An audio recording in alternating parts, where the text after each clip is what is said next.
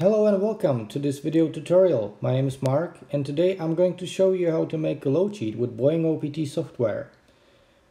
For the sake of exercise, I have selected a real-world flight from Glasgow to Prague, as you can see on JepFD screen right here. Let's check out the operational flight plan for the flight. It is going to be with 737-700, registration Sierra Whiskey Tango.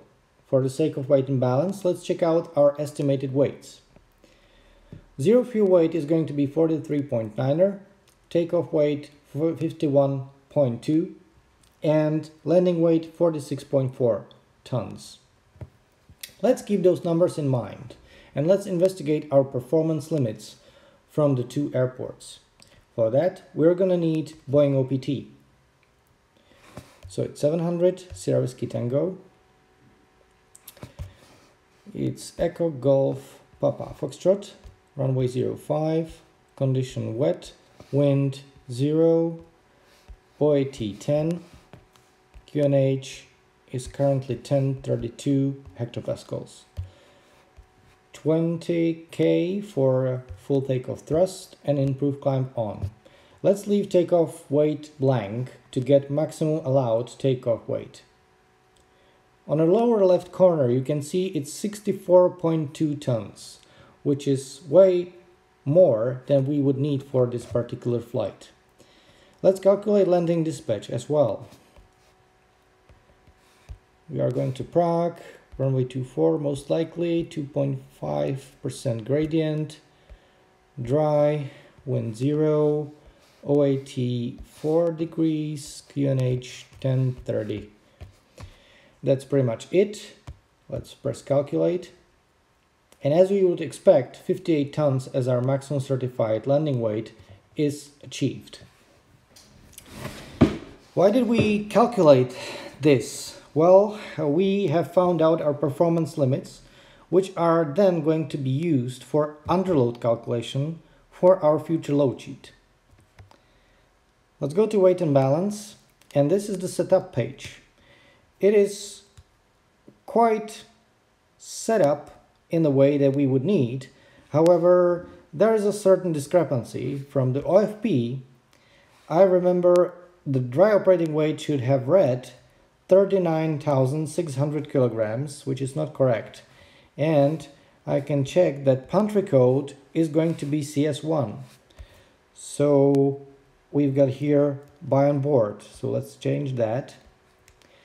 If you don't know what any of the field or selections means, there is an info button right here which will tell you what each and every selection means in plain language. Now our dry operating weight and index is in line with what we saw in OFP. So let's go to passengers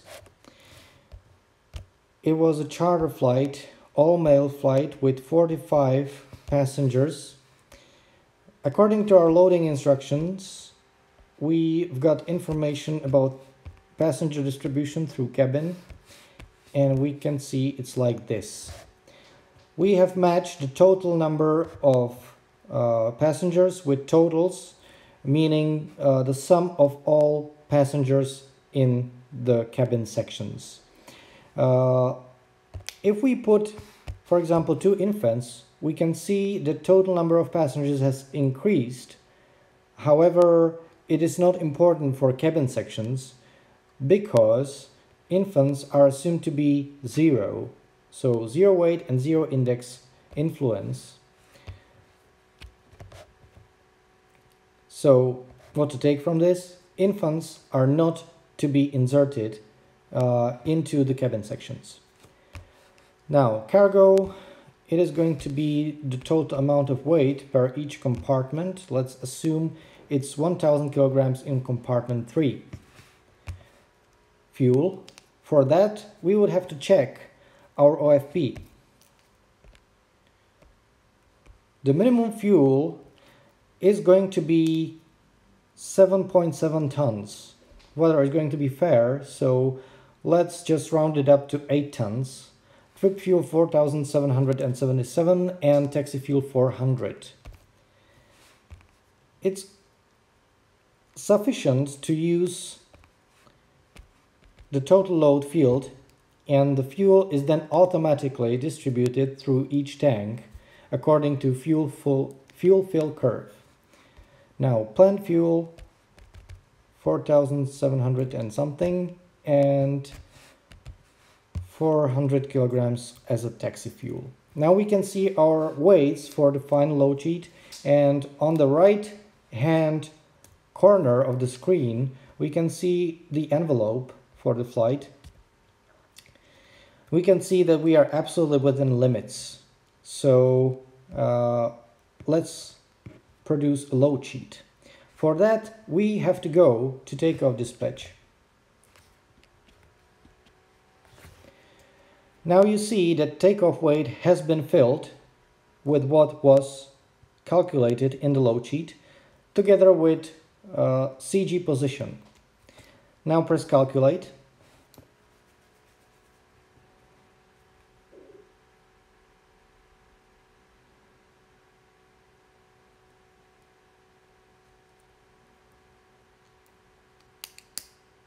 And these are our results for the takeoff. To get the load sheet, press send output and you have here two choices. Either only print the load sheet or send load sheet via email. Let's stick with the print load sheet option. Press done. Input the flight number, which was Tango Victor Sierra 4383. Flight crew count 2, cabin crew 3, and captain, let's make the first one the captain of our flight. And input the password which is easy in this case and done.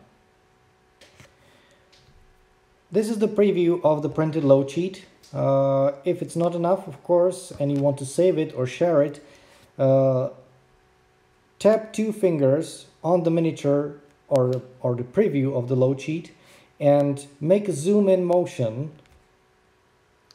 and it will then uh, become a bigger file, bigger preview and uh, you can share it uh, with other apps.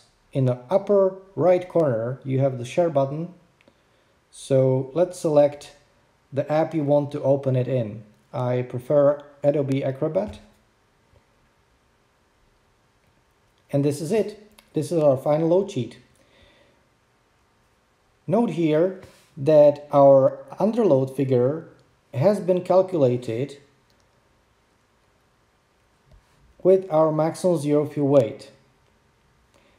And if you remember, this is our maximum takeoff weight, uh, which is allowed in the prevailing conditions at Glasgow.